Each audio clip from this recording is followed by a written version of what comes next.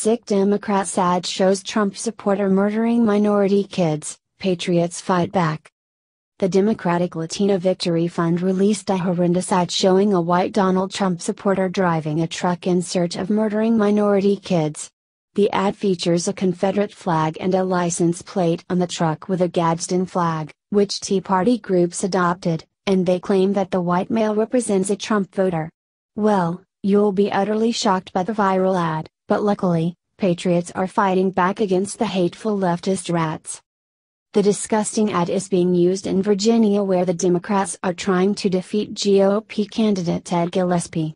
Virginia is a purple state with changing demographics, and the Latino Victory Fund is an organization which wants open borders and amnesty. Gillespie stands in their way so they put out what is doing described as the most racist horrifying ad ever seen in American politics. The Latino Victory Fund released an ad featuring an Ed Gillespie supporter with a Confederate flag and a Gadsden flag license plate attempting to run down minority children. The ad asked whether President Donald Trump and Ed Gillespie would condone this behavior, reports Breitbart News. The ad also features footage from the Alt-Rights Unite the Right rally in August, and the announcer asks, Is this what Donald Trump and Ed Gillespie mean by the American dream? This is not an attack on Ed Gillespie anymore, said Chris Leavitt, Gillespie's campaign manager. This is an all out attack on the people of Virginia. This latest ad gives a clear indication of just what Ralph Northam and his National Democratic allies think of all of us, and it's sickening. The Virginia Democrat gubernatorial campaign did not disavow the Latino Victory Fund's attack ad on Gillespie and Trump supporters. Gillespie's Democratic challenger is Ralph Northam, and his spokeswoman Ofirah Yheskel admitted, independent groups are denouncing Ed Gillespie because he has run the most divisive, fear-mongering campaign in modern history. It is not shocking that communities of color are scared of what his Trump-like policy positions mean for them. Right.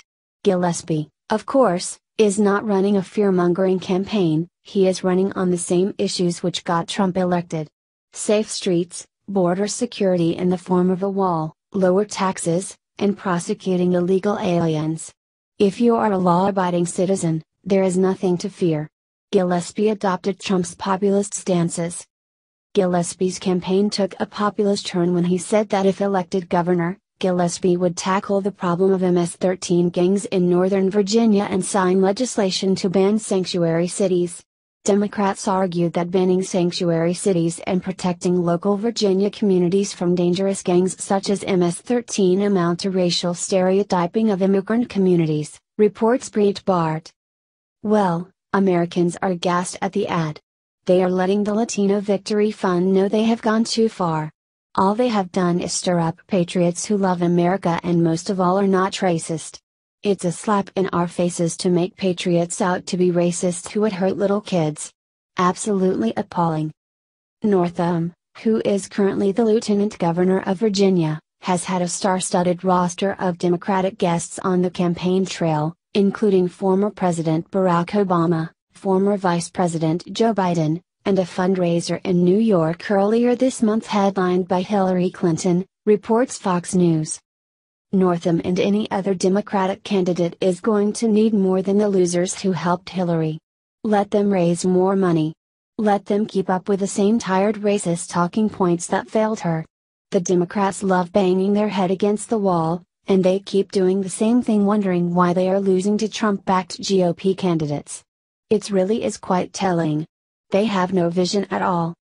This is the whole Democratic strategy paint all GOP candidates as neo Nazis. Well, that just shows their complete desperation.